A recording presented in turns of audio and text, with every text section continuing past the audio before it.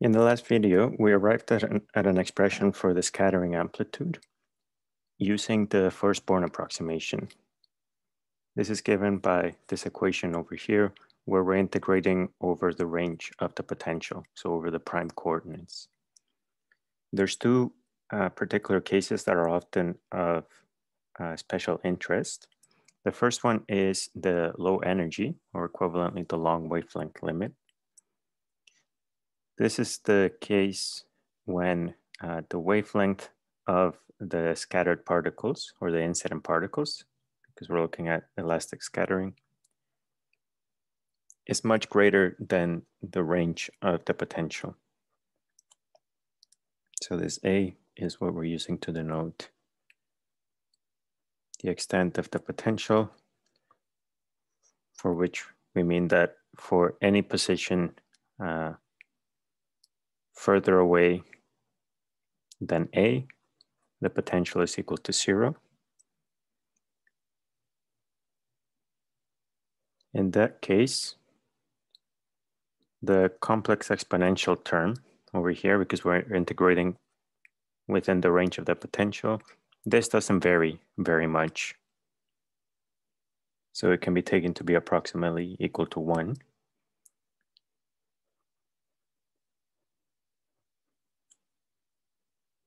And the expression for the scattering amplitude simplifies to uh, an integral over the potential energy that's modeling our scattering target.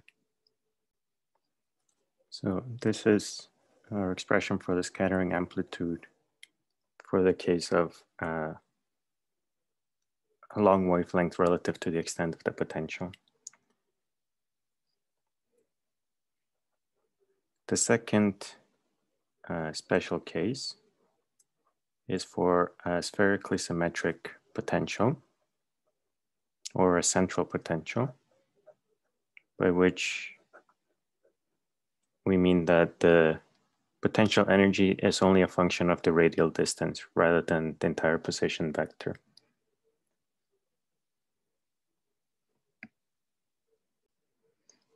In that case, the dot product between kappa and r prime will be given by the magnitude of kappa and magnitude of r prime times the cosine of the angle between these two vectors.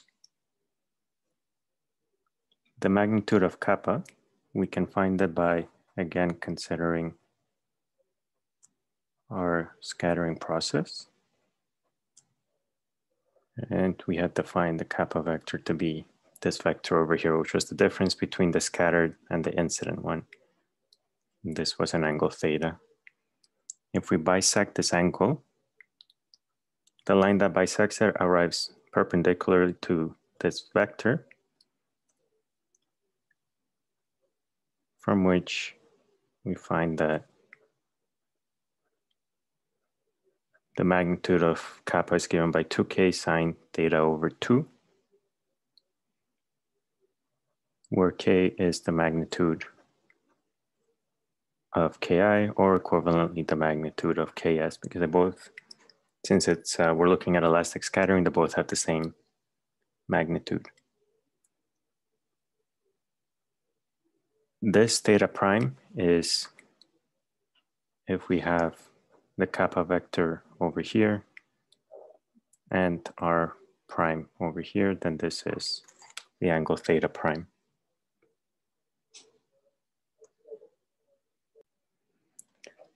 In that case, so for a central potential, we know that the scattering amplitude only depends on theta in general because of spherical symmetry. The theta symmetry is broken by the incident particles.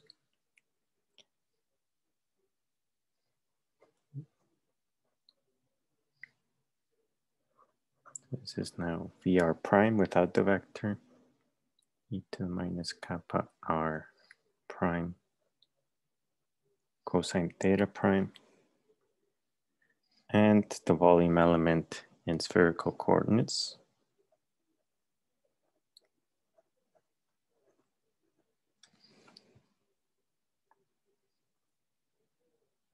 So if we were to write out all the integrals this is an integral with respect to phi, which will be trivial because no other uh, term here depends on phi. An integral, or it should be phi prime, an integral with respect to r prime. This will be r prime, r prime squared. And an integral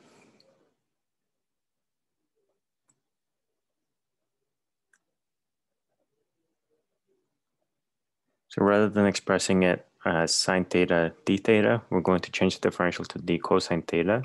And that allows us to change the limits of integration from 0 to pi to minus 1 to 1. From here, we get a 2 pi. From here, we get a sine kappa r over kappa r prime.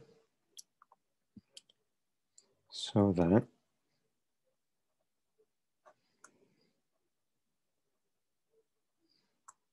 Oops, it's no. And this is from zero to infinity.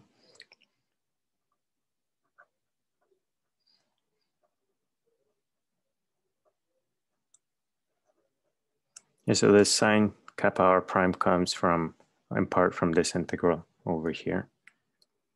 And this is our expression for the scattering amplitude in the Born approximation for a central potential.